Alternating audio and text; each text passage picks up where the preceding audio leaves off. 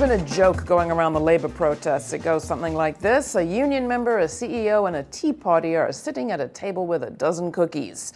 The CEO grabs 11, turns to the Tea Party member, and says, The union's out to take your cookie. I've been thinking that joke applies pretty well to another situation, too. For instance, the so called military. Our military spending grabs 11 cookies and leaves us all battling over the 12th. Christopher Hellman at TomDispatch added up all the military related spending across the many departments of the budget and came to a startling number.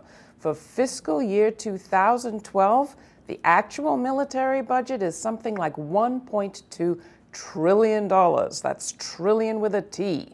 To get that in perspective, a million seconds is 12 days. A trillion seconds, 31,688 years.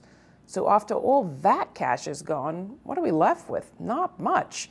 Discretionary spending's nearly 40% of the budget, but if Hellman's numbers are accurate, that 1.2 trillion eats up nearly 90% of funds, leaving just 10% for the rest of us, not including mandatory spending on things like Social Security and Medicare, which is separate.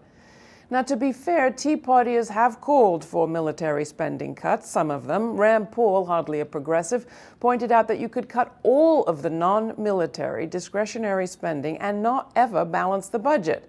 PolitiFact rated that true. The point behind the joke still holds, though. Instead of fighting over the crumbs, maybe it's time to team up, end some wars, and grab some of the cookies back from the people who've been hanging on to far more than their share for too long. Enjoy Grit TV? Want more people to see it? Well, we are making our program available free to public television stations coast to coast.